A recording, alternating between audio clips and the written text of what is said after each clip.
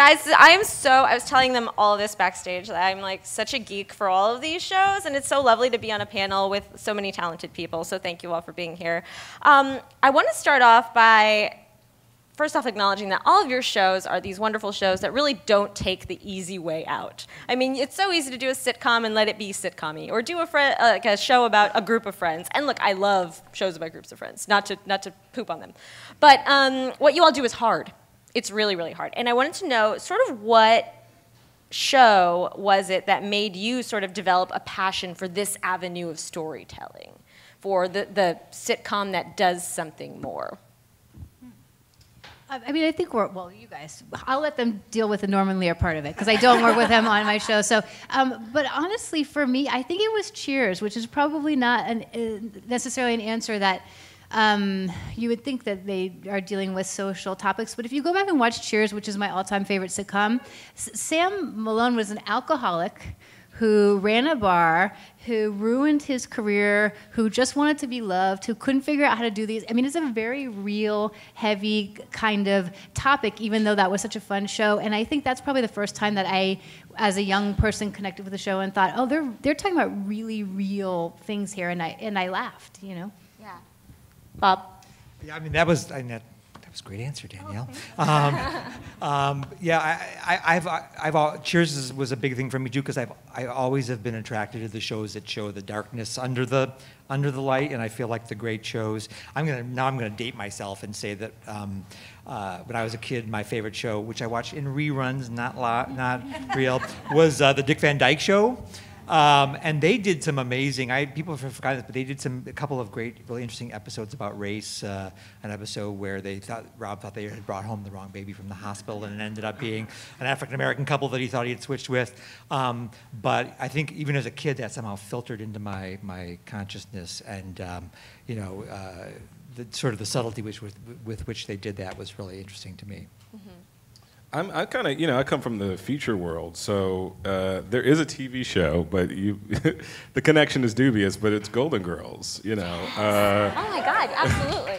Avi. Um, I mean, the stuff the stuff that goes on in the Golden Girls, like you can't find that stuff on network TV anymore. I mean, they really go there. But I think you know, it was probably um, Do the Right Thing had a big impact on me, uh, as did uh, a movie called Network and Election. Those are three movies that are multi-protagonist movies, uh, you know, like the film on which my show is based, where you feel really uncomfortable and love, but kind of loathe everyone by the end of them. And um, you know, that's the experience that like I wanted to create with the movie and, and pretty much extend over a larger canvas uh, to explore these really, really hard to talk about. Uh, topics that really don't have a single answer from one viewpoint. So I would say all of those kind of influenced um, you know, sort of convinced me that I could do this as a show. Yeah. Um, I think I come. I think my the way my brain came at it is more liking to combine drama and comedy in the same thing. I don't think I've.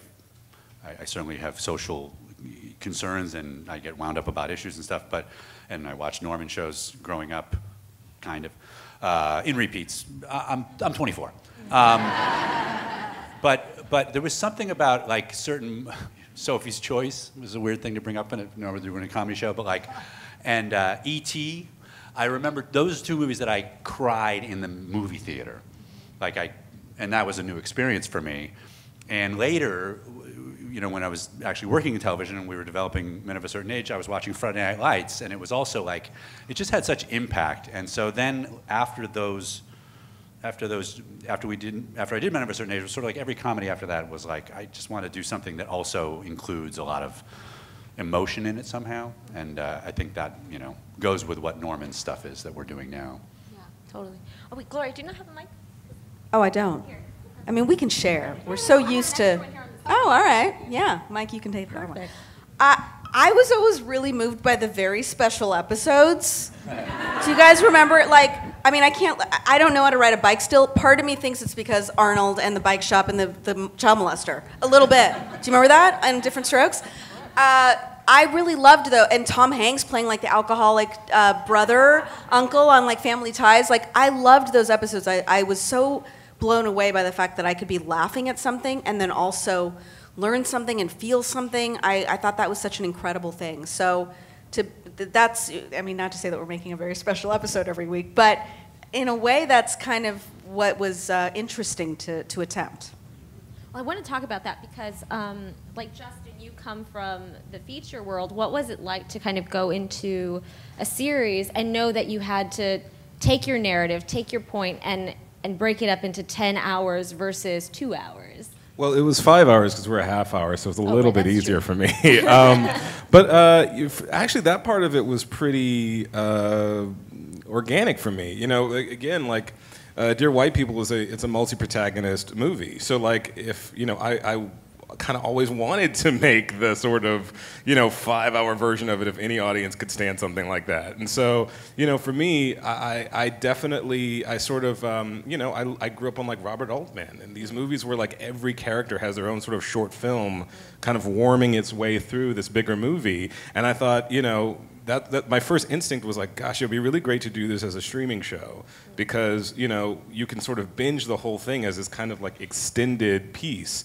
and then episode by episode, you know, go one kind of short film at a time where we get into what these characters are going through while this sort of bigger uh, plot is happening on you know the campus of Winchester. So that part of it for me actually was kind of organic and kind of you know you, you, you see things like M*A*S*H translating to, to tv really well it was sort of kind of the same thing it's like you know i didn't really you never really have enough room in an hour and 47 minutes to explore that many characters so it was kind of easier actually to, to, to deal with them uh, over a canvas of say five hours Right. So for everybody else that kind of does like the episode subjects or the tell me take me into your writers room. How does how does how do you sit down and decide this week we're taking on gentrification or this week we're taking on race or whatever it might be? Like how You're do those me. You're looking at me. Yeah. we did those episodes. Um, uh, we were always looking for things that are difficult to talk about, and we were always looking for things that don't have a, uh clear answer. Th- those were our favorite episodes to tell. So we, um, the Carmichael Show is very much a, a conversational show. It's a, it's a, it's a family debate really every week. Um, and anytime the writers started fighting, we knew that okay, that, that's we're in a really good territory. If people were and if people were really screaming at each other, like I needed to call a timeout, like a recess, then I then I really knew that there was something good. So we were just looking for interesting. We're always looking for interesting things to talk about, um, and, and not necessarily. Um, looking at the news and what's happening in the news, but just what's happening in your life, what's impacting your life, what's hard right now, and kind of trying to approach it from that angle. And so uh, does it start with somebody coming in and being like I had a terrible day yesterday. This is what happened or Yeah, sometimes you're like, I'm upset because this thing is going on. I mean, it- you know, it is what's happening in the world. We're, social, we're, you know, obviously we're here talking about things that are socially relevant, but not like, you know, Trump did this today, so let's try and answer it with that. Because I think if you try and chase the headline that's I mean I guess there are shows that do it like uh, Law and Order that's what they do right? That's what, but like you know I, I think it's um, you know it, it's just about finding something that's relevant to our characters. We would only do a story if we if some one of our characters had something to say about it. There could be amazing stories out there that maybe someone else's show could do but none of the Carmichaels really had a take on it so we wouldn't you know we wouldn't touch that necessarily. Uh, we actually had a PA um, the beginning of the season 'cause they come, go online and come up with a list of like issues we could address someday, and it came back and it was like nuclear disarmament. I was like, oh, probably not going to handle that one in a donut shop. But yeah, for us, I think as Danielle said, it it, um, it came out of it really has to come out of character, and we just look at you know Jermaine Fowler plays a 28 year old African American man working a minimum wage job without health insurance. Like that led, that lead, that led to stories. Judd Hirsch plays a 75 year old man who's been clinging to this business in a gentrifying neighborhood. How can he survive this changing in this changing world? That gave us stories. Maz Jobrani played an Iraqi immigrant. That gave us an interesting story about him being kind of racially profiled. So yeah, it really has to come, I think, initially out of the out of who the characters are and, and, and what, what are they going through in their in their daily lives. Why are you all laughing about nuclear? I want to know. That was like an inside joke or Because something. Norman literally came into, can we do something about nuclear disarmament? You know, he, like. Good, good luck. he We had- tried. yeah, he had a meeting with. He's he's forever. I mean, he's the president of the world. You know, he's just, so he, he conferences and uh, he's always the, the phone rings and it's like, oh, it's uh, you know Clinton, Bill Clinton. I have to talk to him. Like he's always he's in the It's middle of everything it's true, important. yeah. So so yes, like two weeks ago, he he had some meeting that was. somewhere in the neighborhood of nuclear issues, and he was like, "Can we?" I kind of talked to them, and if we can do anything about nuclear disarmament, you know, we have a character who gets very wound up about a lot of different causes, so there may be something. We don't, we don't think we have an episode. How are so for you all? How does that story process begin or, or work? Because I especially remember the episode that really centered on Rita Moreno's character last in season one that really touched on immigration and but in a totally kind of different way than you know say the Carmichael show might address something yeah. like that. Tell me about how ideas begin and evolve in, in your writers' room. All right. uh, well, we, I think we talk about first. I mean, the, the exciting thing about being one of the few Latino sitcoms on the air is that we have a lot that we want to talk about that hasn't really been exhausted yet. So we kind of start from there. And the, the deportation episode that you're speaking about, I, I spoke on the last panel about it briefly. Norman said it would be great to do an episode, maybe, you know, Rita's character you know, is, is threatened with being deported. And I had to educate him and let him know, like, Cubans can't be deported, Norman. And he goes, oh, I didn't know that. That's so exciting. So, so then it's that discussion. It's the discussion of uh, different immigrants in this country and how they're treated differently. And how do we tell that story in a hopefully responsible way?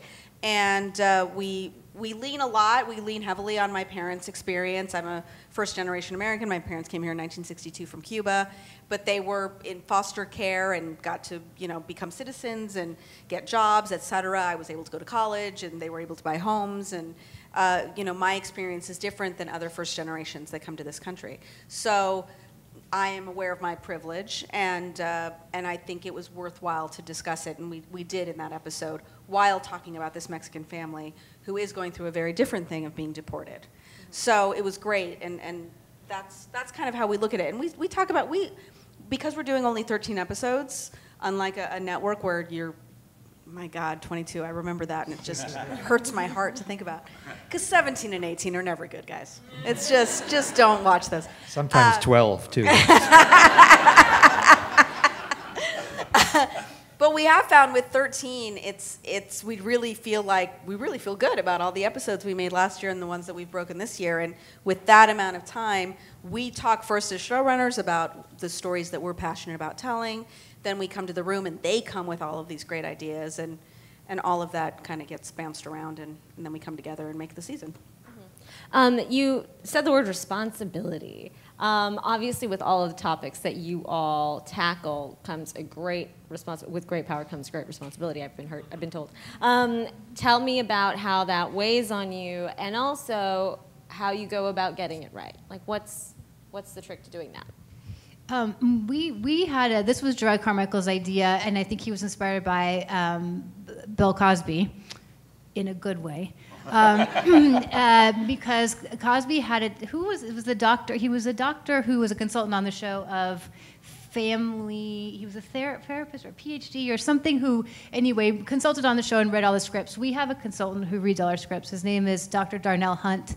Um, he's the head of sociology. I think he just became the chair of the entire department at UCLA.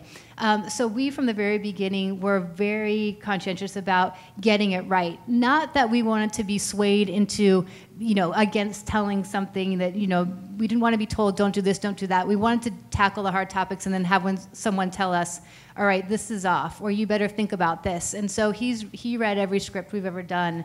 Um, that, that he'll read the table draft version of it, uh, just as a gut check, as someone who's not in the business and isn't a, you know, a writer and is not an executive, just to say, okay, here's the way the world is working. Here's what you need to be aware of if you're going to tell this story about, you know, police brutality. If you're going to tell the story about transgender rights if you're going to tell a story about whatever here's what's going on in the world so that i, I you know i think that was a, is was an extremely good idea that Jerrod had and is a really valuable part of us um, not only coming from an authentic place as we already talked about here but making sure that someone else is kind of helping us gut check i mean we we have military consultants um, who we, we, don't always do a show. Most of them are not about military issues, but that is our main character's background and also her ex-husband. So we want to get those, you know, some of the language right and make sure that they don't sound like they're, you know, that, that, that people, that, that, their backgrounds become clear and um, are specific. Um, and then just from a representation standpoint, you know, like we made our, our room has to speak with a voice that is talking about the culture, a culture that they know. I, I can't be that person, you know. He is not Latino. He's very Spoiler. sad about yet. it. He's working You on it. have He's dreams. working on it. Yeah. But it's you know it's it's uh, that show can't be written by a bunch of white guys, and uh, no show be, should be written by a bunch of white guys. But um, that's yes, I'm the hero for saying that. Sorry, I'm so sorry. I'm gonna leave. But we, in any case, we made sure to you know to have uh, our writing staff uh, you know filled with people who could uh, provide that point of view. Yeah, the trick of the trick of our show uh, is that the issues really aren't where we start. You know, it's sort of like if you're gonna have a, a bunch of like articulate black kids at an Ivy League, like they're literally gonna be talking about this stuff anyway. So the place that we start is um, because we do see ourselves as a satire is what do we want to satirize in this season? Like, what is the sort of thing that is aff- affecting all of the characters? Um, and then this first season, what we really wanted to get into is like 21st century activism because it was one of those things that was both like wildly exciting and incredibly depressing at the same time. And even more so, you know, we wrapped on election day, and it was sort of like, God, was it all for naught? You know. And uh, spoiler alert, you know, there are moments in the show where the characters feel that way. And um, so that kind of was like our, our overarching sort of thing for the plot. But at the at the heart of Dear White People is this idea of like self versus identity, like who you really are versus the role that you have to play in society. And for people of color, any marginalized group of people, that role is kind of decided for you by, by the culture. And um, so, really, what we asked ourselves with each episode is well, how can we talk about this thing through a very personal story about this character who happens to be entangled in this sort of larger thing that's happening.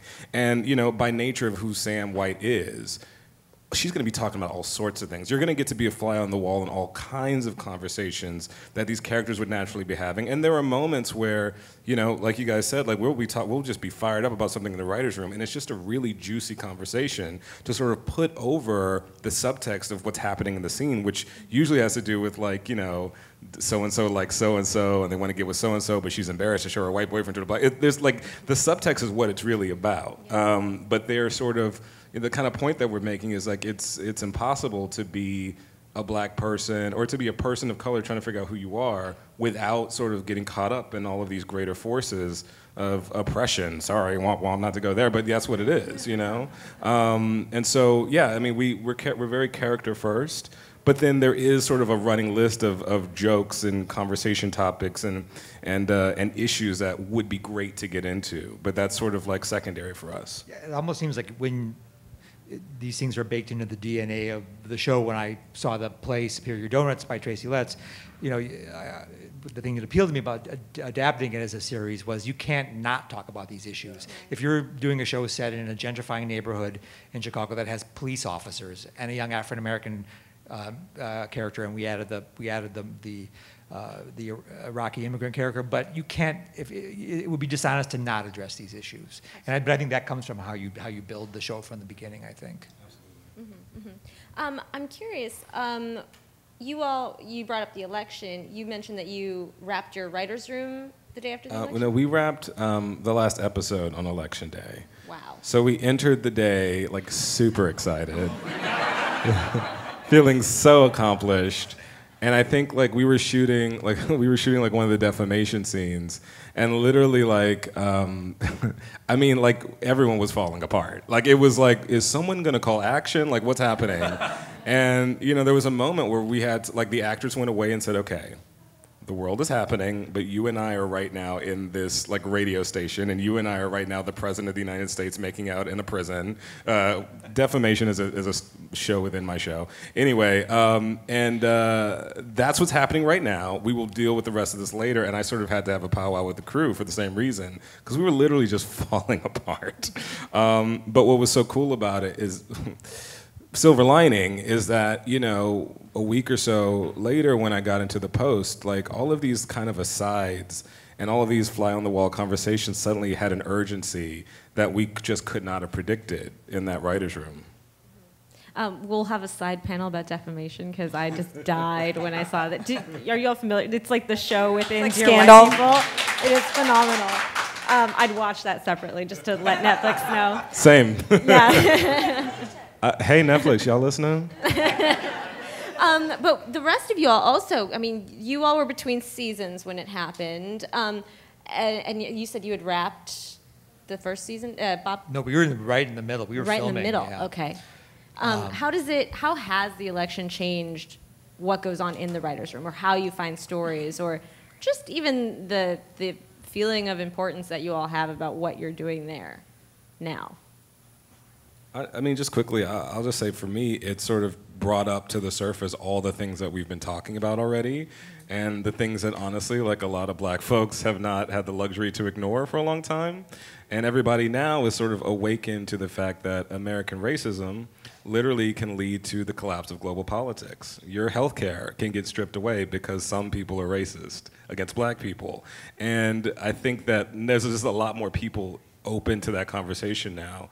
Um, and so for us, it's sort of like, okay, great. Well, now we can go even further. We can now push it even farther because hopefully more people are willing to hear, you know, some of the things that are going on with these kids' lives. Yeah, we our our season two finale, which aired a year ago um, in the summer, was about Trump. So we before, and it was and it was still um, in the primaries, and so it, but it was all about how divisive Trump was. And how, what would you do you know what a family does when people are on different sides but i mean at that point our character um, maxine was was still a bernie so bernie was still in the race and there were so many fun things to talk about and you know um, so we we had an interesting experience where we kind of front loaded and said everything we had to say about trump and about thinking and everyone in the room at the time was like I mean, come on, you know, and and you know, especially the stand-ups in our room kept saying, "But what if?" You know, just imagine what if. And so we had we felt like we had got it done, and I think in some ways it was easier to have done it already because it, once it became real, we were shooting. We shot the night we were in pre-production uh, during the election, but we shot the night of the inauguration, which was actually a very um, it was a really it was just a really tough episode and night. That episode was about if you I don't know if people saw or uh, have seen. We're on TV now, you guys. Um, uh, our uh, thank you, thank you. Um, our premiere it was called it was an episode called Yes Means Yes, and it was about rape culture and um, you know the idea of teaching about yes and not just no and because Hillary lost, uh, you know, the way we were seeing women at the time, and especially on that day, it was a, it was a very, um, just very weird, tough day to make a, a half hour comedy. And I think what we took out of it was we're really proud of that episode. Laughing at hard things is very helpful. And I think that that's what our show is always trying to do. I think that's what all, all the shows, uh, you know, up here um, are doing. And so it, it was a very stressful day that produced, I think, a good episode. Um, you know, and so we felt it in that way, I would say. I, uh, it's, it's, I don't know what, it, this may sound facile or something. I'm not even sure I know what that word means. Um, so right there. Um, but it's, you know, when, when, you're storytelling, the whole thing's like you got to raise the stakes. Mm-hmm. That's just the phrase you use, raise the stakes, are the stakes high enough? And I really feel like the way Trump has infected, the, the election infected, is like he raised the stakes on life. Like the whole world is different. Mm-hmm. Like you just feel it when we're breaking stories. It's like there's shit happening that you weren't thinking about before the election. And this is in a way that, yes, I also become aware, more aware. I try to become more aware every day of my privilege. But there is, I do feel like there's like an awakening, you know, uh, because there's stuff that, that, that especially uh, Latino characters, that people have to worry about that they weren't worried about beforehand. You know, there are just Gloria has done a number on you, my I can just see her over there. She has like see you working. I see what's happening over there. Oh my goodness. Yeah, I, I, I, I um, He's so woke now, you guys. I, I really I can't. The, the worst word to say. Um, no, it's, so I don't know. I'm not being very articulate, but it's like I just feel like life is like is an emergency right now. And so these stories just mean more, and you feel like eh, there's a lot. I guess what I'm saying is like there's political things may have felt like they were external things, and they're all internal things now. They're all real, you know. To uh, and they should have been real before, but now you have a guy in charge who is making them uh, crises, is what I'm saying. That one is.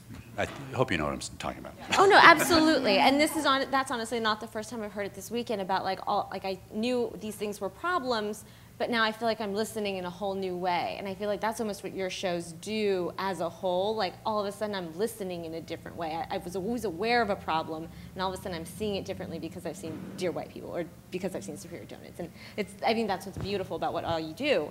Um, I want to talk about. Uh, perspective because all of you have shows with very strong points of view and in that invites people to criticize your point of view. Um, what episode that you all have done hasn't eh, you know riled up people the most or you've had the most feedback from uh, via the internet or twitter all these wonderful places where people express their very strong opinions I mean, it's, it's with Twitter, you get it instantly, which is terrible. which is like it's terrible because if you go on there, you can see this show sucks and this isn't funny. I don't know why anyone's saying this is funny. And you know, um, Jerrod, I don't know why anyone would be with Jerrod. He's a horrible boyfriend. You know, I love. I actually love seeing those. Like that's so funny. People are so angry.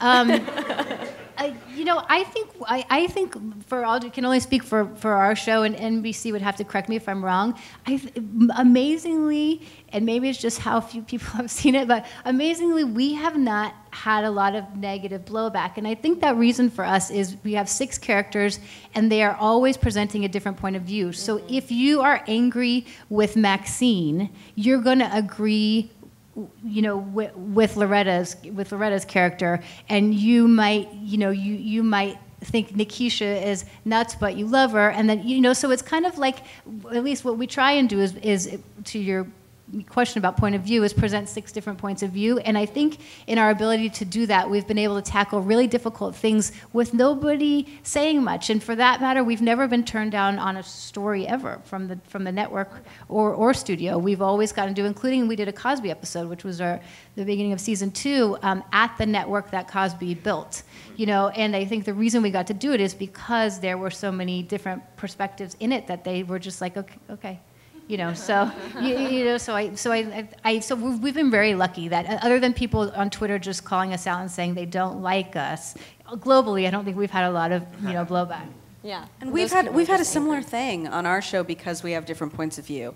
We have a you know older grandmother who has a much more traditional Catholic faith-based point of view, and then you know the Penelope character uh, is somewhere in the middle, and then her daughter is super super liberal and very PC. And so, w- again, if somebody's upset with one point of view, they'll they'll be Remember the, the, I think it, it was Breitbart. I think Breitbart ran an episode that it was so funny because it did this loop de loo because we had a scene about Che Guevara, che Guevara, Guevara, right. which, if you're taking sides, it sort of had a sort of conservative.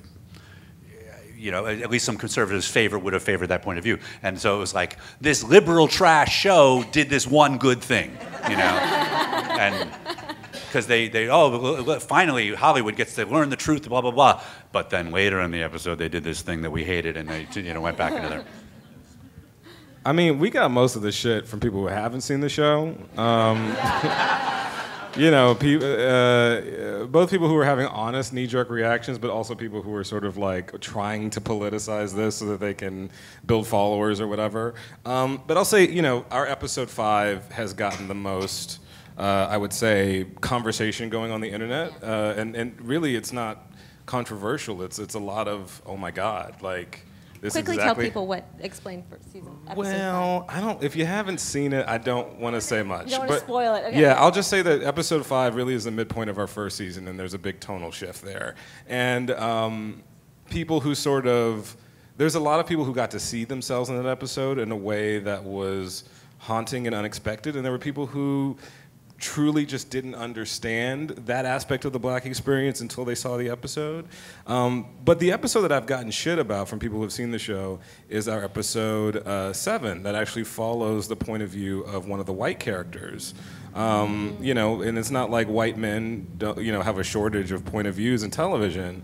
But I thought what was interesting, you know, the, reason why I wanted to do it is because, you know, there's I want there's this guy who you can't help but love, but he is inadvertently uh, contributing to a racist system that he personally loathes.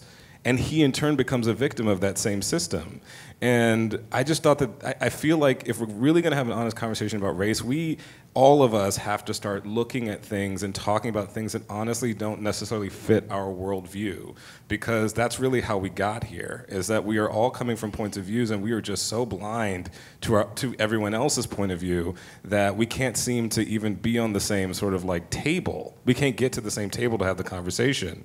Um, and so, you know, again, it was character first. It's like you know, what would what would what would Gabe do in the aftermath of this moment that happens in chapter five? But then on top of that, we were able to really layer what that experience is of being sort of like a white ally surrounded by black people who are in turn surrounded by a bunch of white people. Like, what does that feel like? It's sort of like an inverse Oreo or something. Um, and you know, I'm really proud of that episode because I don't think a lot of people expected us to do that.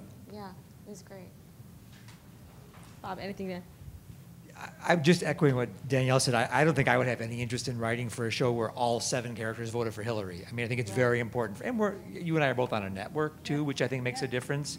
Um, you know, we follow the Matt LeBlanc show, uh, which is a family show and a very traditional kind of multicam. So we're like the we're like a starter sitcom for social uh, awareness. But um, uh, but um, but I think it's very important to us whenever we construct. If, if, if there's not one character arguing the, the inverse of the of, an, of, a, of a subject, I think we're not going to we're not going to deal with it. It's just not it's not it's not worth it because then you're shooting fish in a barrel, which is that was my biggest issue with social media after the election was I felt like I'm on Facebook with 500 people who are all arguing the exact same point. Like why are we arguing with each other? Like we all agree with each other. Why are we doing that? So I think that's kind of how I approach the show a little bit too. Is like let's let's have an argument. Let's have somebody take the other side and, and let, let's make sure that they have a valid argument in some way.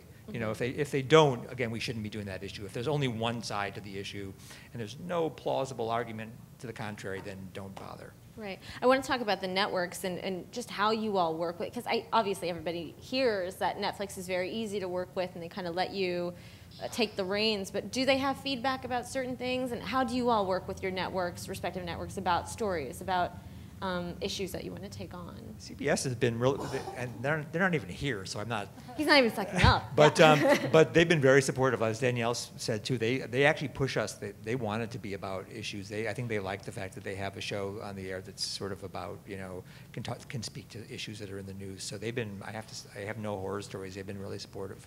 We we follow Little Big Shots, which is a talent show for children, and our premiere episode was about rape. So that's all I have to say. Yes, Ray. Sorry, that wasn't. Um, here's the thing. We, I don't know. Maybe you have to be David Fincher to get the like hands-off Netflix thing. We were, they were very hands-on. But I have to be honest with you, it was kind of great because it was never like make these changes because we're afraid or do this because you know this demographic or that demographic. It was really all about just pushing us to make sure that we were telling great stories and you know making sure that we were going as far as we could go. So it really was. I would say it, was a it was a true um, collaboration. They ask a lot of questions. Um, sometimes just to see if we have the answers, uh, but especially with a show like ours, which is a bit atypical, even for Netflix. Yeah, they were very involved in that process. I never felt like they got in the way, but they were certainly in the room for sure. Oh, wow. Yeah, not physically, but you know what I mean, proverbially. They're always watching, Justin. Yeah. we were taped. Um, yeah, they were. They were. Uh, yeah, they're great. I mean, I will say they they they don't feel the pressure to like develop your show for their brand.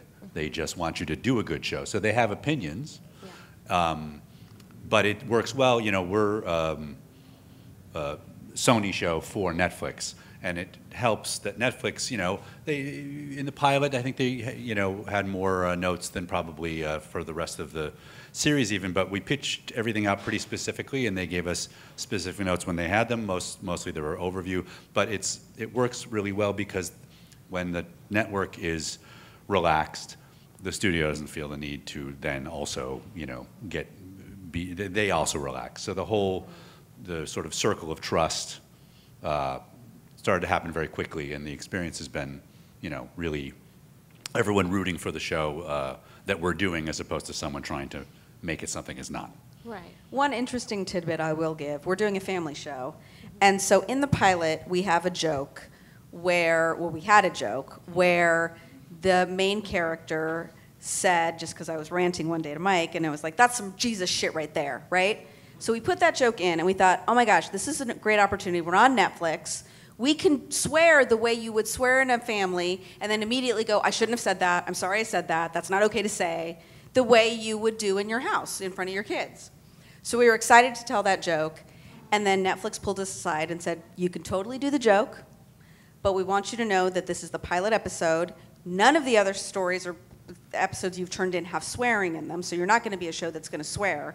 People will watch that episode and think, oh, this is a show that swears. Maybe I can't watch this to my kids. And you'll probably lose like a million people. Up to you. Oh my God. What do you want to do? So we, we changed this joke. Yeah. We changed it. They're By the like way, the, the joke ultimate killed. mom and dad. Sorry, it was it was d- the joke destroyed, but nonetheless, yeah. No, so that's like the ult- that's like saying uh, we're disappointed in you, and you're like, oh God, that's worse. Just be mad at me.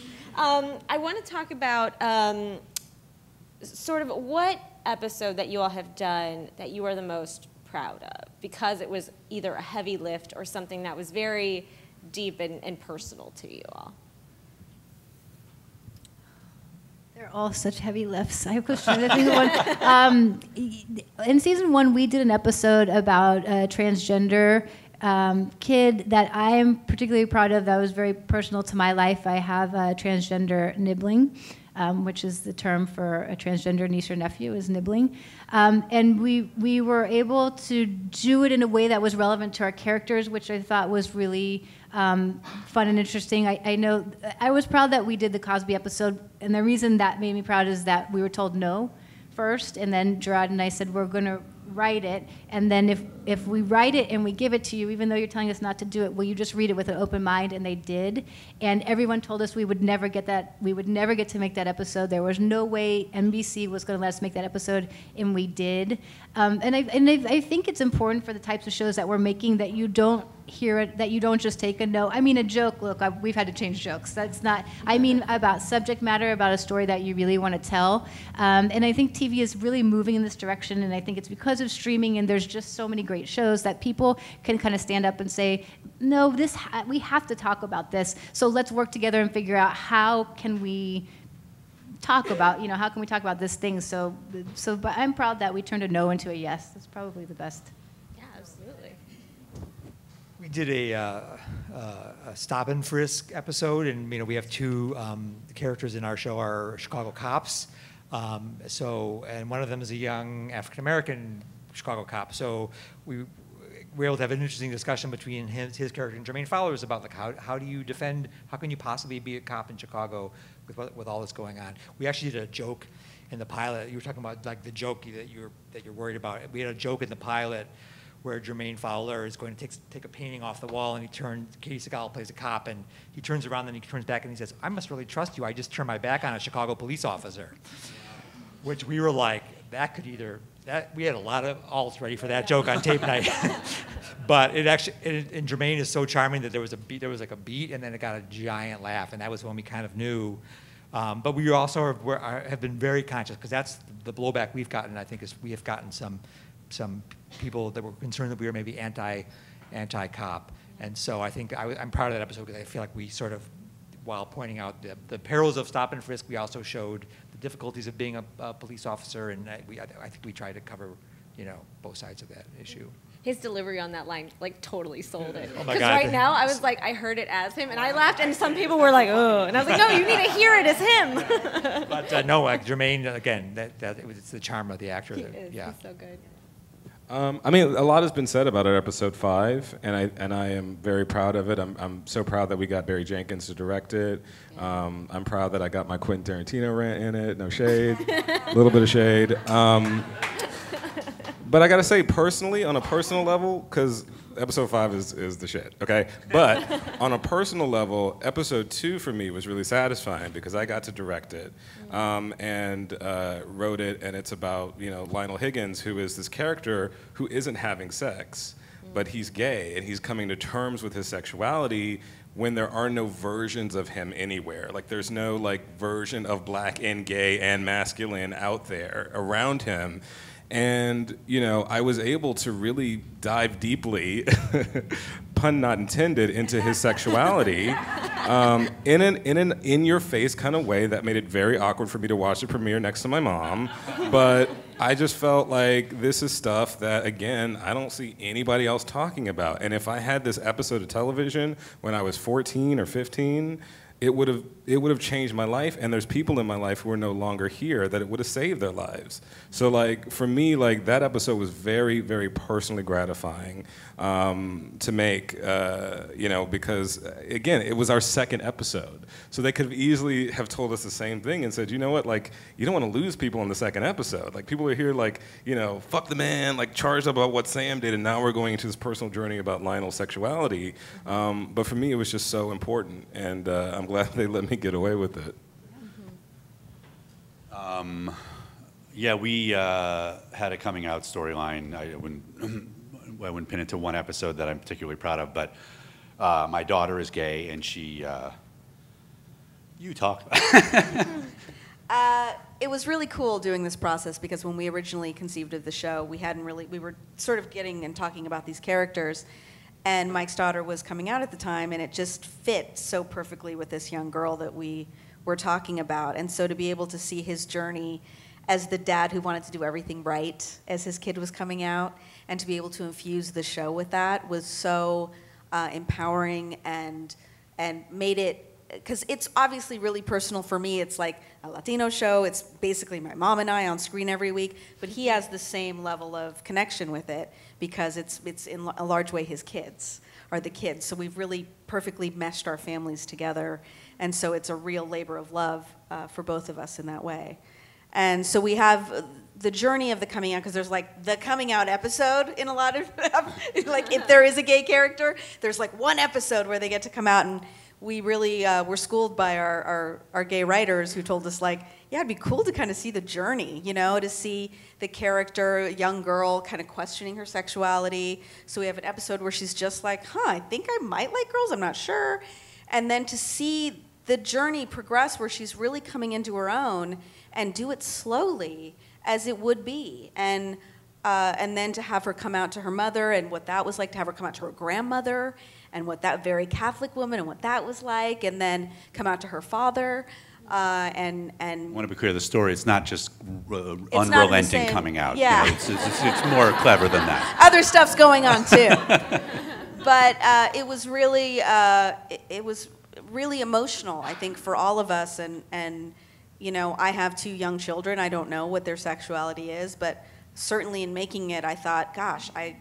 wh- Whoever they are, I want them. I, I, they will be able to watch this in the future and know that they are loved regardless. And that's a really special story to get to tell. So, uh, I think that for me, the, the quinceanera episode and the final episode, she has a quinces.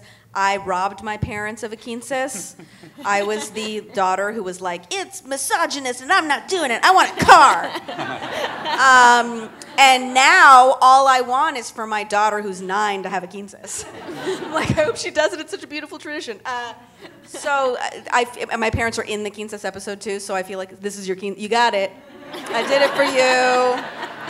Uh, so there was a lot. Uh, there was a lot of stuff that happened in that episode that was uh, both touched so much on the Cuban experience and also on this young girl and family and and people coming together and ultimately love winning out, which is is how we got to end our season, which was great. And I, I just got to say, like, it's so. I said this on our last panel, but like, this shit like saves lives like for real like it is so powerful especially in the context of a show about people of color to deal with like, a trans issue to deal with coming out like we don't talk about that stuff in our communities enough Yeah, we had a we had a uh, episode about mental illness, uh, uh, just about Yeah. depression. That that got a huge response from from all different, uh, you know, from the Black community, but from from all over the place. That it's just because certainly in the Latino community too. That's mental health is not something that you talk about. You get over it. You deal with the shit, and you you know you move on. And um, and that was that was really um, that was a really nice response to hear from people that they, that it mattered that we gave a character that kind of issue. You're right. Yeah, because it's like, you know, white characters do it all the time. Not all the time, but like you, you sort of, you see, I mean, you know, you see, the, you see that in a, a show with a predominantly white cast a lot more often. Um, because usually when you're dealing with a cast of color, like their race is like the primary thing the show is about. Um, so like it was, it, it's, it's just, it's cool to see you guys doing that and to sort of eh, just, you know, know that it's making a really big impact and it's just, it's great. Absolutely. Absolutely. Um, I want to get a quick poll of how many people have questions because I want to leave enough time for everybody. So two. Okay, let's go to audience questions. Um, um, when I point to you, just go ahead and stand up and speak loudly. I don't know if we. I don't think we have a mic. So um, yeah, just we'll start here with Mr. in a hat. Um, first of all, thank y'all so much for creating and continuing to give work to marginalized communities. Um, as an actor of color, that means a lot. Also, being um, Latinx, um, how do you work in a business, or how do you get your own stories told? How do you create in a business that is predominantly white? Uh, what has been your, I guess, success stories with that? This is super interesting because I've had this debate with people before. I think whatever is your comfortable way in is is the way for you. For me, I had to, and, and I'm not saying this is the way, but this is looking back now, this is what I did. I had to show them I could be them first. Like the first room I went into, it, they'd let, I was a diverse writer, which means that I was free to them. Me too. I was the diversity hire, right? So when you come in, it's like you're the diversity hire. There is this like stigma of, oh, you're just here because your last name's Calderon. Okay. So it was like, uh-uh, I'm gonna show you I'm just as good as you are. And that's what I would try to do. I would try to hang with the boys. I would sit there while they watched their YouTube videos and their naked girl pictures, and I'd totally be chill. And I would, I was like, I have to get through this because I know where I want to go. So I'm gonna do this because I know where I'm going. So that was how I did it. I felt like I, I think there's people that can that have a story to tell that can tell it today, right now, and have that. I needed to understand. I needed to learn by doing. So for me, being in the room in any capacity was so helpful. So I rose the ranks. I was a staff writer, and then a story editor, and an executive story editor, and a co-producer, and a producer, and a supervising producer. I did that whole path until finally I was like, all right, now I feel ready. I know how to do this, and I'm going to do it the way I want to do it now. And luckily, I had somebody who was so supportive of that. Uh, but that was the way in. And I don't. I, I know writers who I was on a. I was on a staff with a woman um, who is Lat- Latinx as well, and it was the first time I'd ever been on a staff with another Latinx writer, and I adored her so much. And I remember her pulling me aside afterwards because we were called Spick and Span on that show. Um, and I would make jokes about I would make jokes about it. And she would leave and like be bawling. And she's like I don't understand how you can make jokes. And I was like oh man I'm doing her a disservice because I have so taken this thing that I've made people think it's okay and it's not okay and that's on me to change it. Uh, but what I was doing was for my own survival along the way. So from that point on, you know, I would make different, you know, I did, th- this is also the room where like I couldn't uh, breastfeed in the room. I, I couldn't leave to breastfeed for 30 minutes uh, because I was taking a 30 minute break. So I started breast, I started pumping in the room.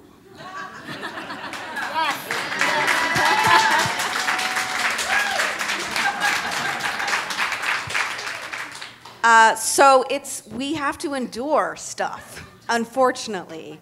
And uh, but I have been schooled. I, I think I hope so much that by doing the things that we're doing and telling these kinds of stories and populating not just in front of the camera but behind the camera with inclusive uh, groups of people that, that it will be easier for the next batch of people that come along the way. And, and hopefully it won't be a problem for that much longer. Yeah, and and I'll, I'll say that my, my parents both were born in East LA, and if anyone knows Los Angeles, that is not where Hollywood is. Um, there is no nepotism from there. I had no into the business, but what I did have was my dad was, both my parents were extremely hard workers, and my dad, knowing, because he was first generation, so I'm second, um, he said, everyone's going to think you're getting there because. So work harder than the person on your left, work harder than the person on your right, and show everybody that that's not why. And I use that in school, I use that in, in life, in every job, and that actually has served me more for success in Hollywood than any, any advice anyone has given me inside the industry. Just work harder than everybody around you. Whether you're an actor, director, writer, producer, it, that actually works. Yeah, I'm going to echo that. It, for me, it, you know, the way I describe it is you, you have to adopt a kind of hooker by crook mentality because you're, you're not, there isn't a way. There's not. Like, there's not a, like a set list of things to do.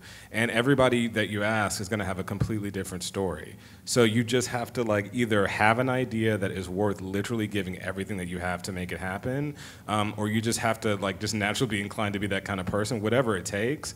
Um, you know, for me, I had this really dense multi-protagonist script about the black experience.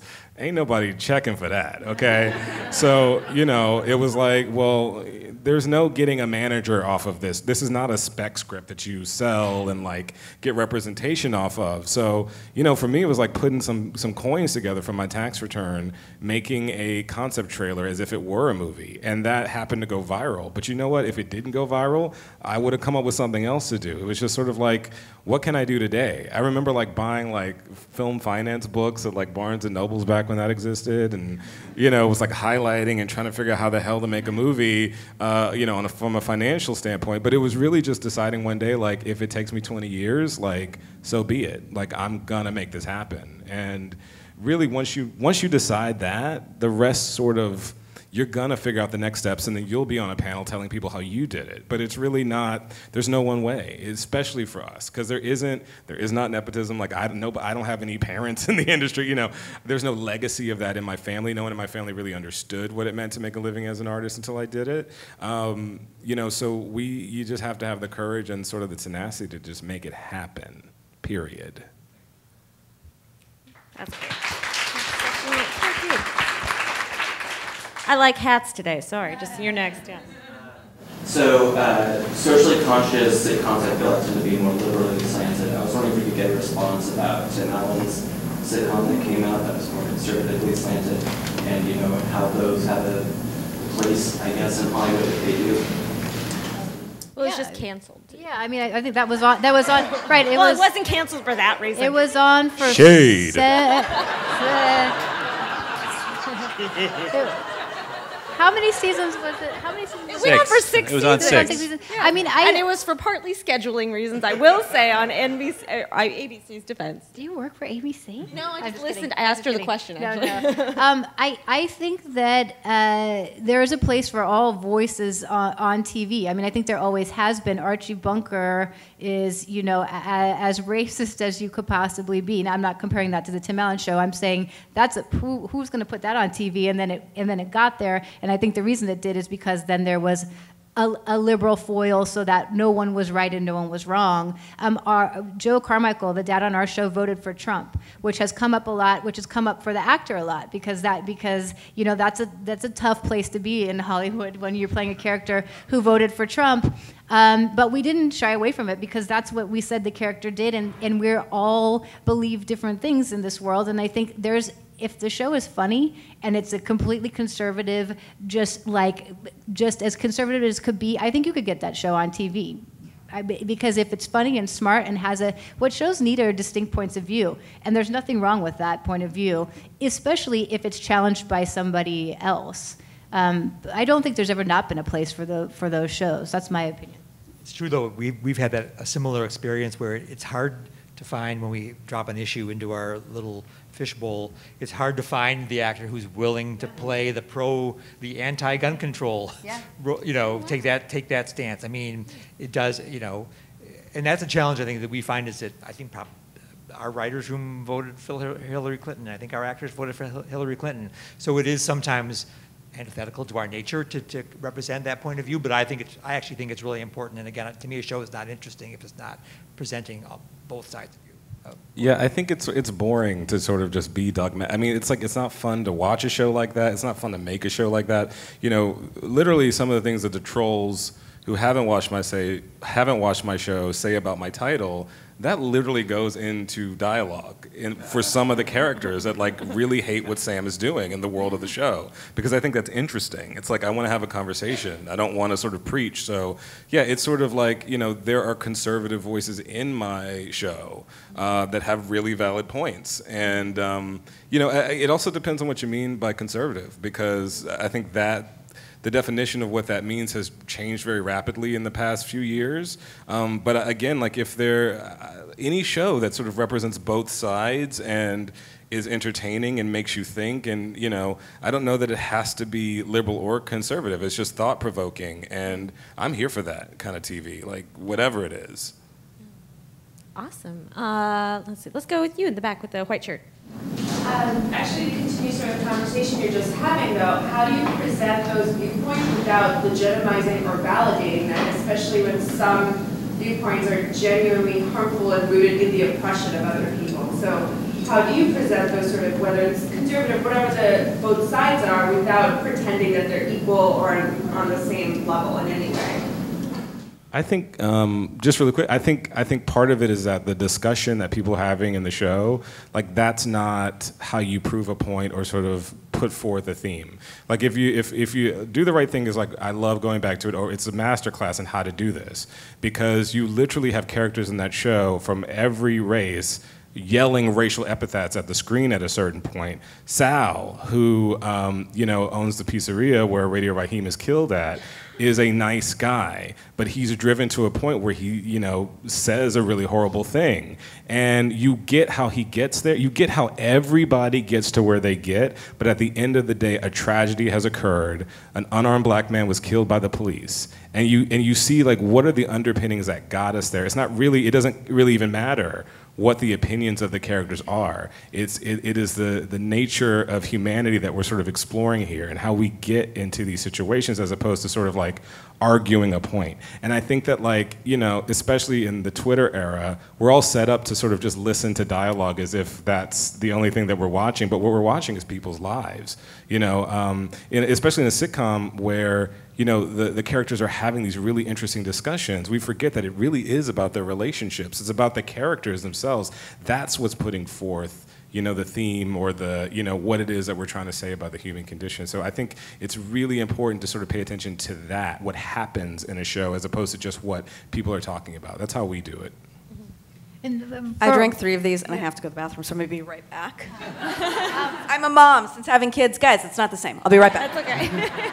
I mean, I, I think I think with our with our show, the purpose is discussion. So we're so we're not out to tell anybody how the world works, and I, I think TV doesn't do that. I think TV introduces a world like just taking away from what's like Will and Grace kind of, you know, a lot of people cite that as opening the door for, oh, you might not have a gay friend, but here are some on TV. Now, there's certainly people who have been critical, but either way, it was an introduction to. And our, you know, our Trump episode was very, it was very hard to tell. There were a lot, there was a lot of fighting within the writers. There were some writers who didn't want, this was before, so this was way before. He wasn't the candidate yet. There were some writers who were just like, there's no way we should be doing this. Um, but not everybody felt that way because what the whole point of that episode was, for us at least, or what you know what we were trying to get across was, we need to be able to have dialogue no matter what. And so I think the only way to have a discussion is to give a character a even if you don't get it at all, as legitimate a point of view as possible because people have that those thoughts even if they're not yours. And i think you know sometimes i think it's a dangerous place to get tripped up and only present your own points of view because what we tried to do with that episode was give joe carmichael a real reason to vote for trump not make america great and it's all silly. He said political stuff about why he might be voting for a conservative candidate and that was important that he have a leg to stand on because otherwise you're not really having a discussion you know? So it, so I, I, I think um, it's important to talk about everything i guess is, is what how i see it um, versus, you know, being fearful that you're going to legitimize something. You're not wrong. You know what? You're, the, the question is a good one, but I think I think that there are, just to keep using the Trump analogy, very smart people that you may know, that I may know, I certainly within your family that voted for Trump. And if you're not someone who understands Trump, it's hard. You know, it, it's hard to understand, but it that person's still in your family. That was kind of the point of our episode. Um, not to say one way. No, we, we try not to come down on one side or the other. And I think that's how you avoid the thing that you're asking about is just talk. Just talk about it. And, and just what's powerful about that episode is that, like, you know, I've got people in my family, and um, and and I think that, like, I think what's important about that is that you do have to understand how people get to where they get. It's not about necessarily legitimizing a certain point of view, but these people exist. This is a reality, um, and we can't sort of ignore it. We, I think, we have to understand how they got there, uh, not because they're right and and you know we should bow down to their ideology, but if we don't understand how we got there, you know, we can't sort of pre- prevent something like that from happening again. Like we we can't have an honest conversation, and that's what it takes in a country where, you know, everyone's involved in this process, no matter how informed you may or may not be. Like, we have to understand how everyone gets to where they get. I mean, it's sort of part of how we grow as people. Welcome back. Welcome back. But we do, that is all the time I think we have, unfortunately. But at least You you, came back for the big finale. So, guys, please give these wonderful panelists a huge round of applause. Thank you, guys. And thanks for coming.